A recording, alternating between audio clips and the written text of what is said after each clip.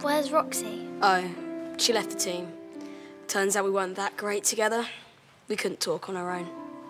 It wasn't like with you. And now, please welcome Team Fish with their unique dance craze, the Munka Munka.